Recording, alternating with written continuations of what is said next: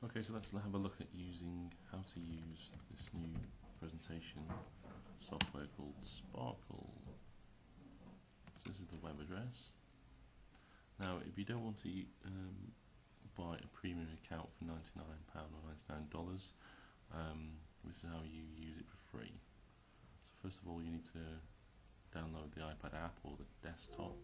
I'm going to use it for my PC. So this is how I do it. I just run, press run or save it to the desktop and then open up. I've already done that, so I'm not going to do that. And then you can run it from the desktop or run it from the website, but it's best once you've got it on the desktop to run it from the desktop. So here's mine.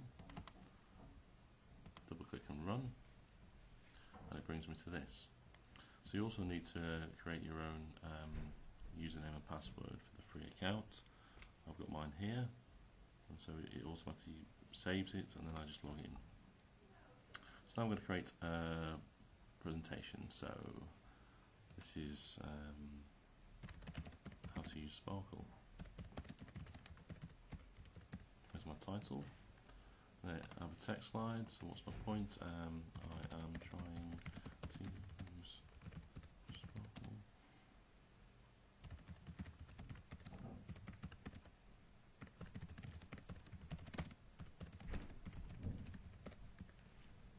There's the first bit of the slide.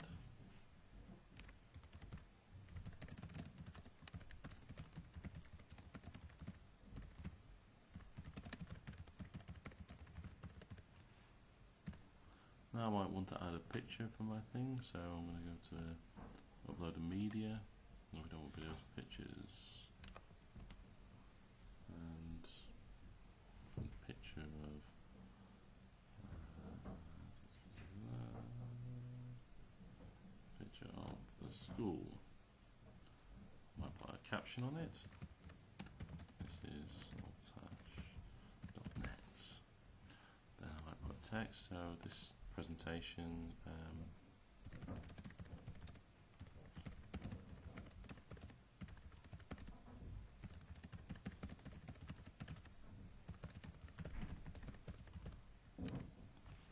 okay, so I think I'm quite happy with this slide so far, so I'm just going to have a look, see what it looks like. Go, that's cool. So I can change the style, make it uh, one of these things, like a roller coaster by downloading extra bits and so on. Um, some of them are pro accounts and so on, but I'm going to keep it with this paper, I like that. So there we go. There's my slide, or my first one. Now I could make more. Um, by just adding like that and create another slide and so on. I can also add notes to it. Uh, I can also edit what I already had. We're going back to this. Uh, you can add video clips, you can add lots of different things. So then how do I how do you actually save it so that you can come back and present it? So well you go to save, save as a local file. I'm just gonna put it on my desktop. That's the school bell. Good timing. Um, save it there. And then I can come back to it later on and so on. So I'm gonna log out now. Disappear. So if I'm going to come and use it again, I go to my desktop, open it up, I log in, I then go to open, because I haven't got a pro account, I don't want to upgrade and pay the price, I'm going to open the local file, which we saved before, called Mr. Hunt, did we not save it? Oh no, there it is, hasn't called Mr. Hunt. No, that's one of my test ones, okay. Never mind, open another one.